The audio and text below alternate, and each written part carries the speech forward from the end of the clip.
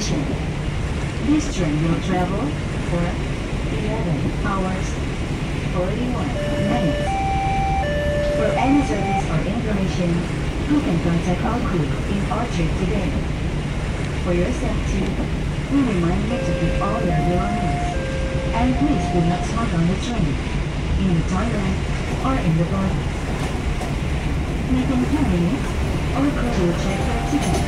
Please remain seated